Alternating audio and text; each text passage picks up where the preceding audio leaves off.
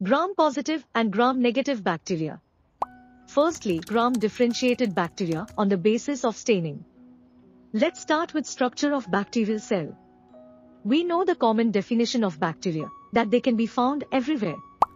Such as in thermal springs, snow, deserts, etc. They can survive in such extreme conditions because of their cell structure.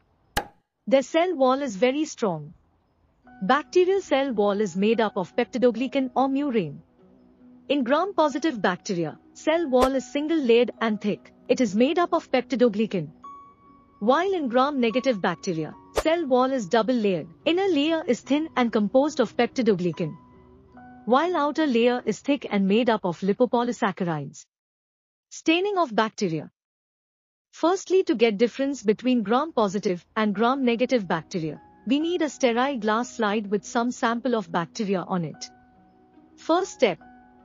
Add some amount of crystal violet solution on glass slide followed by potassium iodide solution to stain bacteria.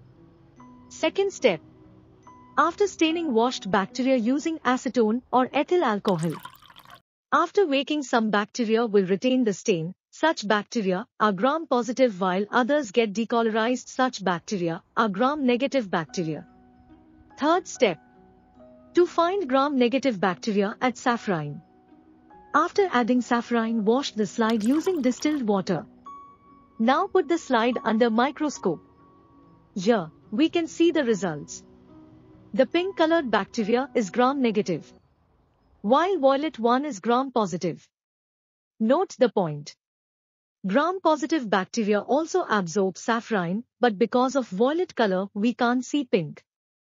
Gram-positive bacteria easily show violet color because their cell wall is single-layered and contain less quantity of lipids. That's why they can easily absorb crystal violet. But in case of gram-negative bacteria they contain thick layer of lipopolysaccharide.